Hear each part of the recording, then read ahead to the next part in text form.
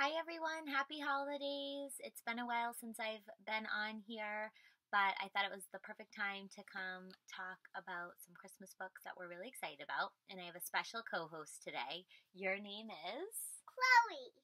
And Chloe, what are you going to be talking about today? I'm going to be talking about Frosty the Snowman and Cindy Lou Who, which are- is on my menu. Yes, they're on your.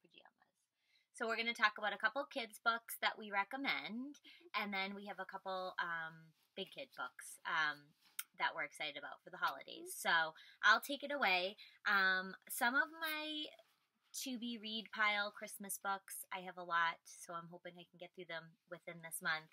Um, Seven Days of Us by Francesca Hornak um, is on my radar. It looks great, and it looks kind of like that funny family, like oop, gone wrong um, around the holidays, which we all can kind of relate to book. So I'm really excited about that. Chloe, what's one book that you're excited about? One book that I'm excited about uh, Frosty the Snowman.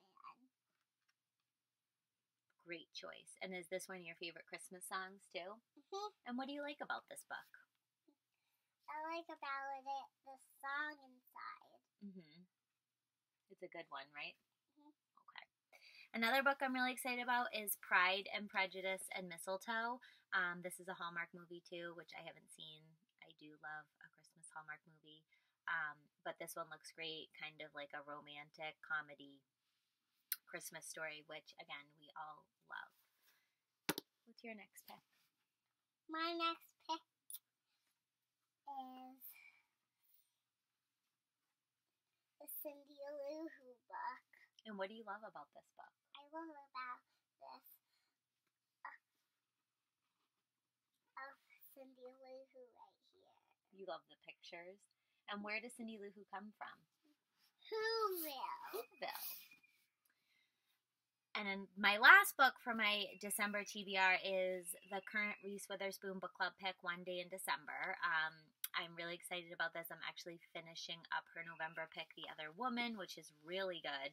And I'm excited to get a start on this. Um, it's supposedly reminiscent of like a Love Actually type story with a little bit of romance, a little bit of like, um, Mama, I say. Happy Christmas. sure. Ready? Happy Christmas, everyone. Do you want to say anything else? What? You, you can tell me them. Well, I would just say uh, let everyone know should have a great holiday. Larry will know that they just have a great holiday. and to make sure to pick up some good books as gifts. Make sure that they pick up as books as gifts. Yep. And anything else? Hmm. What? How about I say Happy New Year? Sure. Happy New Year.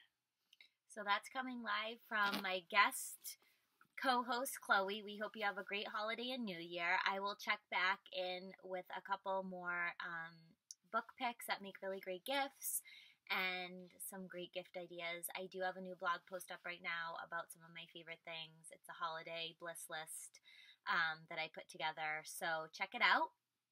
And we hope you have a great holiday. Yes. And we'll talk to you soon. Yeah, we'll talk to you soon.